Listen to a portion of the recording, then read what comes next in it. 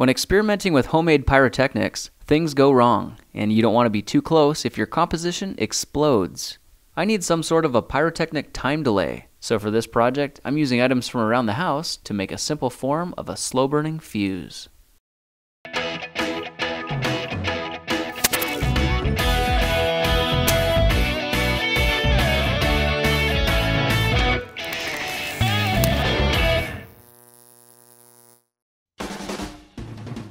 If you've seen my videos on making rocket fuel and smoke flares, you'll probably recognize these ingredients. This time I'm mixing up 36 grams of my stump remover with 24 grams of white table sugar. This gives me a 60 gram composition that needs to be shaken up vigorously. I have a preheated frying pan set at medium heat so that when I add 1 3rd cup of water, it boils instantly.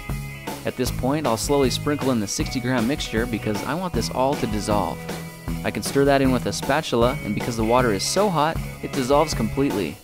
That'll need to sit for a minute to heat up and let the water boil out, so it's a good time to prepare my cord.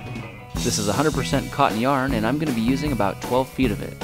Okay, the water's boiled down to the point where the slurry is getting very frothy, which means this solution is super saturated. It's time to add the yarn into the mix to soak up the chemicals.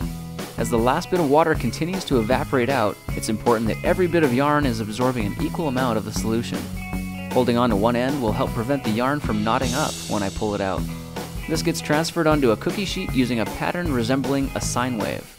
And with about 6 turns on each side, the yarn is evenly spaced and fits perfectly. Now this goes into an oven set to 300 degrees for about 20 minutes.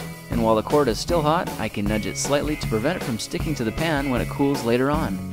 Alright, the time is up, and this cord has a slightly golden tinge to it, and that's a good sign. So I'll leave it out to cool for about 5 to 10 minutes. When the cord is fully cooled, you can see it's become stiff and retains the shape from when it was baked. Now I can just cut these strands at the base of the turns using some scissors, and I've got a nice piece of fuse cord ready to go. The cord is easy to cut, and a few of these strands will get cut down smaller to be used in a batch of smoke flares I made in another project. Look for how I built those in a different video. Okay, testing out the fuse, the first thing I notice is it lights off really quickly and continues a steady and progressive burn. Even with a little breeze, it's still got a nice flame shooting off the back and seems to burn steady at about 3 seconds per inch. Sweet.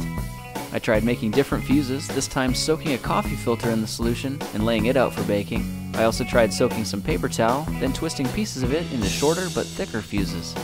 After they were baked, they were very dry and very rigid, I cut a strip of the coffee filter first and tested it with a rock on top to see if it would fizzle out when it lost contact with the open air. Surprisingly, it continued to burn on underneath the rock and kept on burning right out the other side.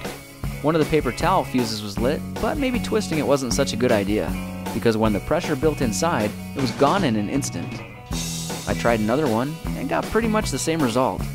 When this one was lit without anything holding it down, it went airborne so as far as consistency, reliability, and aesthetics go, I'm pretty happy with the results using the yarn. Well, there's how I made some cheap but functional, slow burning fuses with things around the house. If you like this project, perhaps you'll like some of my others. Check them out at thekingofrandom.com.